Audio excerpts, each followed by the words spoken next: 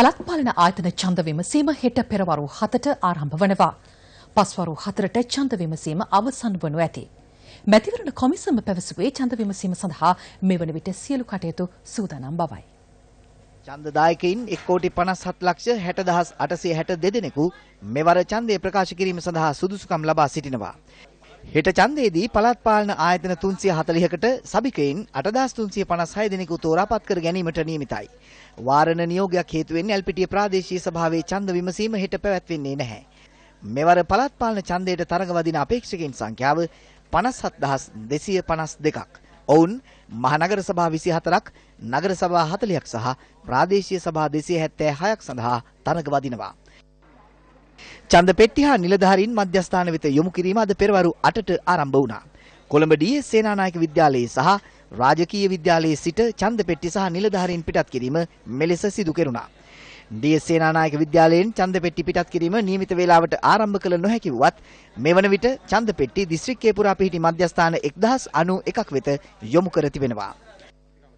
මොනරාගල දිස්ත්‍රික්කයේ ඡන්ද පෙට්ටි ප්‍රවාහන කටයුතු ආරම්භ කිරීම තරමක් ප්‍රමාද වුවද එය මේ වන විට අවසන් අධීරයට පැමිණ ඇතැයි දිස්ත්‍රික් තේරීම් භාර නිලධාරී ඩී පද්මකුල සූරිය මහත්මිය සඳහන් කළා. අම්පාර දිස්ත්‍රික්කයේ ඡන්ද මධ්‍යස්ථාන 526කදී හෙට ඡන්ද විමසීම සිදු කෙරෙන අතර පළාත් පාලන ආයතන 20ක් වෙනුවෙන් අපේක්ෂකයින් 2738 දෙනෙකු තරඟ වදිනවා. අම්පාර නගර ශාලාවේ සිට ඡන්ද පෙට්ටි නිකුත් කරනු අතර එය ආරම්භ කිරීමද નિયમિત වේලාවට වඩා ප්‍රමාද වූ බව අප වාර්තාකරුවන් සඳහන් කළා. මහනුවර දිස්ත්‍රික්කයේ පළාත් පාලන ආයතන 22ක් වෙනුවෙන් සභිකයින් 620 දෙනෙකු තෝරා ගැනීම සඳහා හෙට ඡන්ද විමසීම පැවැත්වෙනවා.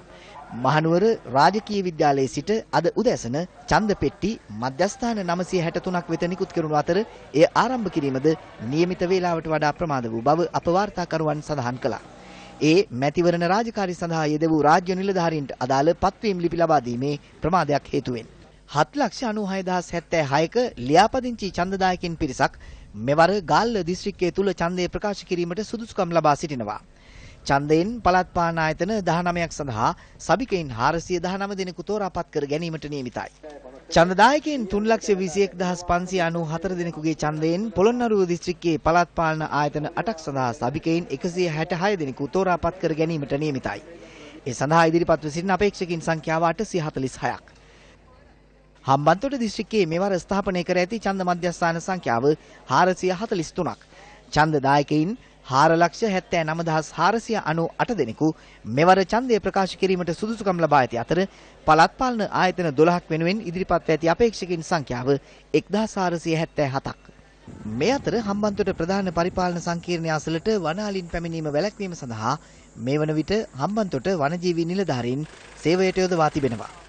මුලතිව් දිස්ත්‍රික්කය මෙවර මැතිවරණයේ සුවිශේෂී වන්නේ එහි පළාත් පාලන ආයතන හතරෙන් දෙකක ඡන්ද විමසීමක් සිදු කෙරෙන්නේ වසර 30කට පසුව වීම නිසායි. එම ආයතන දෙක වන්නේ මුහුදුබඩපත්තු ප්‍රාදේශීය සභාව සහ පුදුකුඩු ඉරිප්පු ප්‍රාදේශීය සභාවයි. පැවති යුද සමය සහ අධිකරණ නියෝග හේතුවෙන් වසර 30ක් පුරා එම ආයතන දෙකෙහි ඡන්ද විමසීම් පැවැත්වීමට හැකි වූයේ නැහැ. පළාත් පාලන ආයතන 19ක් සඳහා අපේක්ෂකයන් 2284 දෙනෙක් තරඟ දීමට නියමිතයි. මෙයින් සභිකයන් ලෙස 372ක් තෝරා ගැනීම නියමිතයි. ඡන්ද මධ්‍යස්ථාන 680කදී ඡන්දය ප්‍රකාශ කිරීමේ හැකියාව තියෙන අතර ලියාපදිංචි තන් සංඛ්‍යාව 670161යි. මෙවර කුරුණෑගල දිස්ත්‍රික්කයේ පළාත් පාලන ආයතන 21ක් සඳහා දැන් මැතිවරණ රාජකාරී කටයුතු සඳහා සියලුම කටයුතු සූදානම් කරලා තියෙන්නේ. විශේෂම කුරුණෑගල දිස්ත්‍රික්කයේ වල්ලලේ තර්ජන තියෙන පොල් පොල් පිටිගම ඒ වගේම හැටුවව ගිරිබව වගේ ප්‍රදේශවල ඡන්ද ප්‍රකාශයට පත් කරාට කිරීමේදී සහ ඒ වගේ නිලධාරීන් ආපසු පැමිණීමේදී සිටින අවහිරතා වළක්වීම සඳහා වනජීවි දෙපාර්තමේන්තුවේ නිලධාරීන් අනුත් කළා ඒ මාර්ග පහසුකම් ඇති කරන්නත් අලි තර්ජන තිබේ නම් ඒවා පලා හැරීම කටයුතු සඳහා මූලික සූදානම් කටයුතු කළ තිබෙනවා. පළාත් පාලන ආයතන ඡන්ද විමසීම් පනතට ගෙනෙන ලද සංශෝධනයන්ට අනුව යම්කිසි සභාවක මුළු සභික සංඛ්‍යාවෙන් 60ක් කොට්ටාශ ක්‍රමයට හා 40ක් සමානුපාතික ක්‍රමයට තෝරාපත් කරගනු ලබනවා. මෙම ඡන්ද විමසීමේදී මනාප සලකුණු කිරීමක් සිදු නොවන අතර පක්ෂය හෝ ස්වාධීන කණ්ඩායමට කතිරය පමණක් සලකුණු කිරීම සිදුවනවා. පළාත් පාලන ආයතන බල ප්‍රදේශයේ එක් එක් කොට්ටාශය වෙනුවෙන් සභිකයෙකු අනිවාර්යයෙන්ම තේරීපත් වනවා. යම්කිසි පක්ෂයක් හෝ කණ්ඩායමක් කොට්ටාශයක් ජයග්‍රහණය නොකළද එකී පක්ෂය හෝ කණ්ඩායම ලබාගන්නා ලද ඡන්ද සංඛ්‍යාවට සමානුපාතිකව සභික දූර හිමිවනවා. නව පළාත්පාලන ආයතන ඡන්ද විමසීම් පනතට අනුව යම්කිසි සභාවක අවම කාන්තා නියෝජනය වූ සභික සංඛ්‍යාවෙන් සියයට විසිපහක් පවත්වාගෙන යාම මැතිවරණ කොමිෂන් සභාව සතු වගකීමක්ව පවතිනවා.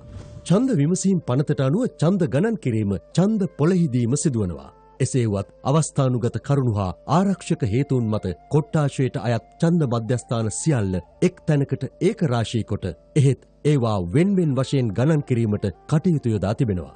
කොට්ටාශයකට අයත් තැපැල් ඡන්ද ගණන් කිරීම සිදුවන්නේ කොට්ටාශයේ ප්‍රධාන ඡන්ද මධ්‍යස්ථානයේදී. කොට්ටාශයේ ඡන්ද ප්‍රතිඵලය එම කොට්ටාශයේ ප්‍රධාන ඡන්ද මධ්‍යස්ථානයේදීම ප්‍රකාශයට පත් කෙරෙනවා.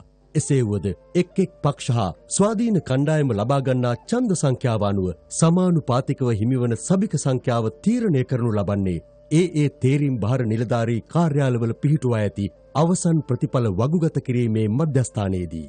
එම ප්‍රතිඵලය මැතිවරණ කොමිෂන් සභාව මගින් නිර්වද්‍යතාවය සනාත කර ගැනීමෙන් පසු මාධ්‍ය වෙත නිකුත් කරනු ලබනවා. මැතිවරණ කොමිෂන් සභාවේ හා රජයේ ප්‍රවෘත්ති දෙපාර්තමේන්තුවේ ඒකාබද්ධ පනිවිඩයකි.